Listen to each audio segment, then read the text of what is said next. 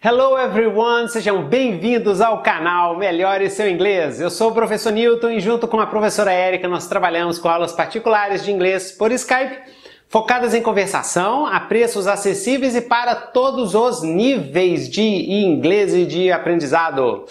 Você conhece a expressão dressed up to the nines?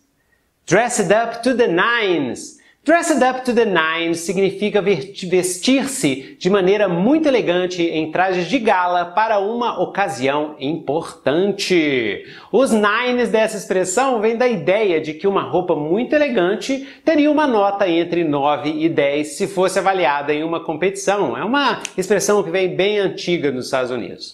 Uh, listen and repeat. Você viu Harry? Ele está em traje de gala e está com um visual maravilhoso. Have you seen Harry? He is dressed to the nines and he looks amazing. Have you seen Harry? He is dressed to the nines and he looks amazing. Todo mundo vestiu traje de gala para a premiação do Oscar, com os homens em ternos tuxedo e as mulheres em vestidos de noite. Everyone was dressed up to the nines for the Academy Awards, with the men in tuxedos and the women in evening gowns. Everyone was dressed up to the nines for the Academy Awards, with the men in tuxedos and the women in evening gowns.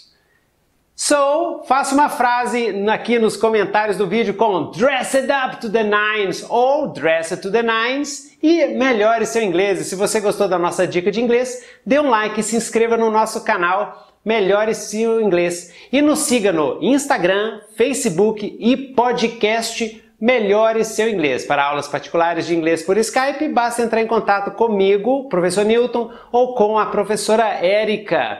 Fica aqui um grande abraço and see you next class.